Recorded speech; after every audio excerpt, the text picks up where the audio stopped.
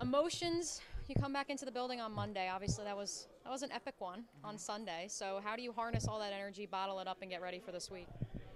I don't know. Uh, I guess you just got to treat it like a normal week, you know, or uh, there's games that we lost and we had to come back and get prepared. So it's going to be the same, I guess, in terms of that. But it was very fun. It was a good time, uh, good team that we played against, great team win. So just excited to get back moving forward with the guys. When I say Detroit Lions, what's your reaction? Well, based on Hard Knocks grit, um, you know, their coach, I like him. I think he's well spoken, a lot of energy. Um, former player as well, so he knows what it takes. A lot of great athletes that they have, especially on offense and defense, respectively. So yeah, tough team, tough opponent for sure. Um, should be a should be an interesting matchup.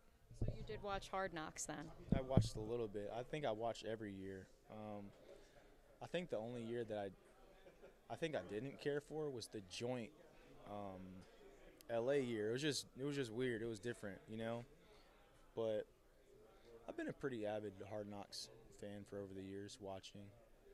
What about you? Do you watch? I enjoyed this season. Um, the one that I, stuck out to me, and I guess he'll kind of be going up against you guys, uh, Malcolm Rodriguez, the rookie, the rookie linebacker. Like they really made made him out to be one of the best characters I thought in the series, and now you guys get to go against him. What's that like? That you know you watch these guys. I know you watch them on TV on a football field, but like you watch them in like a documentary series, and now you go against them.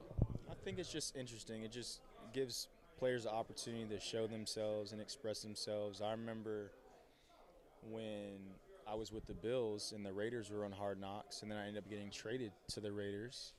And then I was like, oh, wow, this is kind of funny because I had the opportunity to watch, you know, Coach Gruden and those guys from afar. So I think it's just the same in, when approaching this game. I don't think Hard Knocks really matters at this point, you know, but um, it should be should be fun to go up there and play against a great opponent. As you watch the tape, what stands out about their defense? Physicality. I think they're really physical. Um, I think they swarm to the ball well. I think they, they play well as a whole, um, pretty collectively. Um, I think that their DC is an aggressive play caller. I don't think he's very afraid of anything. Uh, former player as well. So I have a lot of respect for him and what he's done in this league and the way that he's handled uh, this season with his team so far. So I, I, just think collectively as a team they're very physical. Hey, um, I wasn't here at the beginning. Sorry if I missed it, but It's can you okay. talk about why your